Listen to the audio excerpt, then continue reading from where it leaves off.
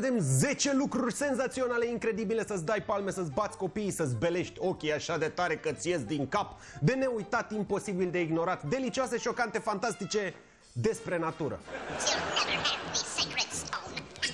Oh, this you crazy mother. 1. Transpirația hipopotamului e roz. E drept că la ieșire e transparentă, dar hipopotamii secretă acid hiposudoric. Nu vrei să știi ce e aia. În combinație cu acidul hiposudoric, hipopotamii transpiră roz. Și asta îi protejează de soare și bacterii. 2. Cangurii adoptă canguri mici. S-a observat cum din când în când cangurii își uită puii prin diverse locuri, la fel cum m-a uitat maica mea în piață în 1991. Nu e panică, ceva mai târziu trec alți canguri pe acolo, descoperă puiul și îl adoptă. Mai rău, s-au văzut canguri care făceau schimb voluntar de pui de cangur. 3. Balena ucigașă prinde cerbi și căprioare și le mănâncă. Nu-ți imagina că și ea pușca și o întinde tiptil-tiptil prin pădure, ascunzându-se după copaci. De fapt, în Alaska, balena ucigașă stă la pândă și așteaptă să intre cerbul în lac. Sunt și clipuri pe YouTube, dacă nu mă crezi. 4. Stegosaurul e mai vechi ca iarba, aia cosită de bunică tu, nu cealaltă. Ceea ce înțelegem noi prin iarbă a apărut pe pământ în urmă cu 145 de milioane de ani. Pe vremea aia, stegosaurul era deja mort de câteva milioane bune. Când trăia dihania asta, mânca mușchi, ferigi și altele. Dar iarbă nu exista. 5.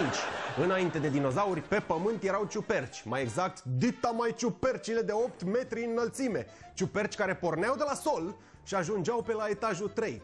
Se numeau prototaxite și pe lângă faptul că erau uriașe, aveau și o grosime de un metru. 6. Un sfert din viața de pe pământ e alcătuită din gândaci. 7. Copacii loviți de trăsnet pot exploda. Toți copacii conțin apă, mai ales aia pe moarte sau putreziți. Când îi trăsnește cerul, apa atinge aproape instantaneu temperatura de fierbere, se transformă în abur și creează o presiune suficient de mare să facă copacul să explodeze. Am verificat chestia asta din mai multe surse și se pare că e adevărată. Dacă e așa, nu înțeleg de ce nu explodează și oamenii. 8. Există dovezi că o anumită specie de babuini țin câini pe post de animale de companie.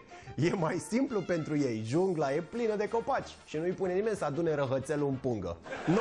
Peștele undițar se reproduce atașându-se pe peștiuca undițar și călărind-o la nesfârșit ca un parazit ce e.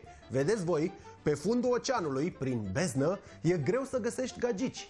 Când se întâlnesc, peștii undițari nu pierd ocazia să se reproducă. De fapt, femela care e mai mare și mai fioroasă poate căra până la șase masculi lipiți de ea ca să-i țină de frig și să nu rămână fără posibilitatea de a se reproduce. Și pe locul 10, tarsierul are ochiul mai mare decât creierul. Nu vă chinuiți să-i spuneți asta, nu o să înțeleagă. Cam atât pentru astăzi. Ne vedem săptămâna viitoare. Pa, pa!